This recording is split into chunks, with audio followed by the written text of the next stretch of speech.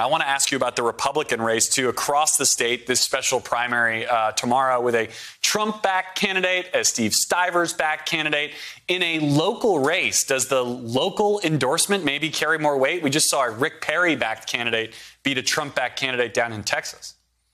Yeah, and Garrett, I think that's going to be a really great question. And as we were just talking about on that Democratic race, it's really been the national forces at play more than local. But in this particular race in, uh, on, in Ohio, on the Republican side, in Ohio 15, we're going to see what is actually more powerful local forces or national forces. And of course, the national fo- forces are trying to propel the Trump back candidate, Mike Carey. He's a coal lobbyist who has close ties to Trump world. He ended up getting Trump's uh, endorsement.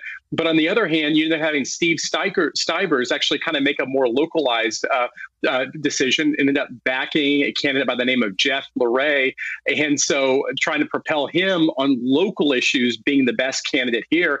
And who ends up winning tomorrow? Again, a really, really tough contest. A lot on the line, though, for the former president, who, you know, probably doesn't want to go 0 for 2 in these types of endorsed races uh, when it comes to a congressional race.